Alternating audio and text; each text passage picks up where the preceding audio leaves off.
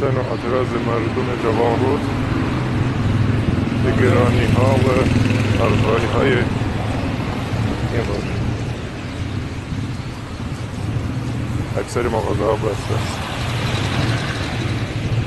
استوديو ياسمين وغدا النهارده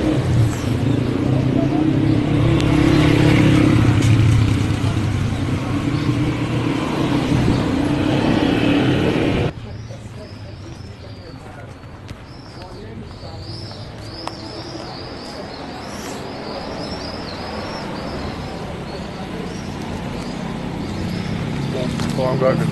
Allah razı olsun.